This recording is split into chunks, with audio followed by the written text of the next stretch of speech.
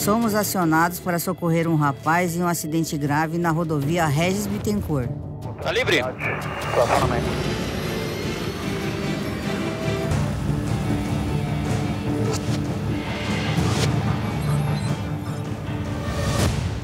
QAP Águia, Cobono QAP. O que falou aí? Quatro minutos para o local da ocorrência. É essencial a gente ter comunicação entre as viaturas, entre as equipes que estão lá e as que estão indo. Então a gente tenta de todos os jeitos, rádio, telefone, o que tiver à disposição a gente vai vendo qual que funciona. É, tô com o médico do lado, verifica aí a situação da vítima pra gente, é a gravidade da, da, da ferragem, por gentileza. O Águia foi acionado, né? sério.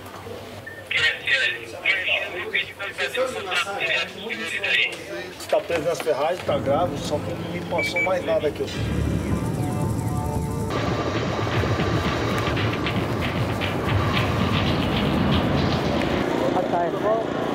Uma quase amputação aí de, de nível de tornozelo direito.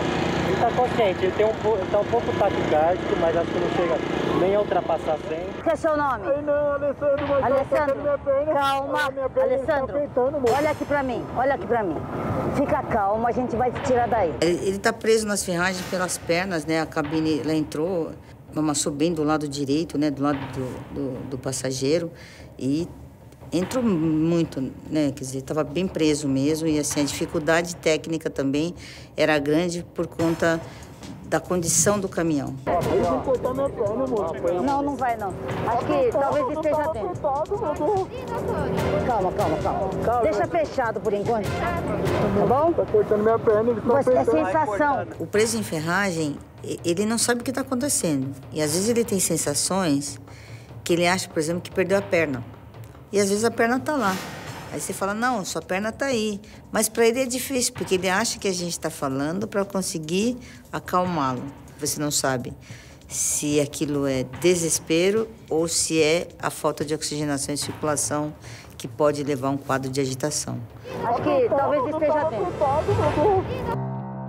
Tá cortando minha perna. Calma, calma, confia na gente. Calma, Alessandro. Olha aqui pra mim, olha aqui pra mim.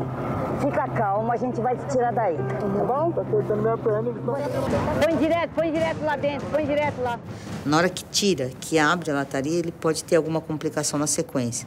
Porque às vezes a lataria está tá pressionando, por exemplo, uma artéria que está sangrando. Mas não sangra porque está preso. Na hora que solta, pode liberar e aí pode voltar a sangrar.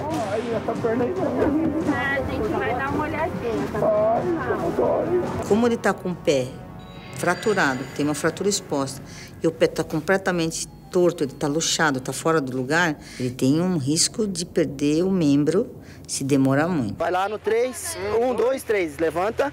E isto, de novo. Vai, pode jogar mais pro meu lado, pro meu lado. Isto. Agora vai. Aê. Quanto mais rápido eu puder deixar essa vítima na mão do especialista, melhor. A equipe do hospital conseguiu salvar o pé do rapaz e 18 dias depois ele teve alta.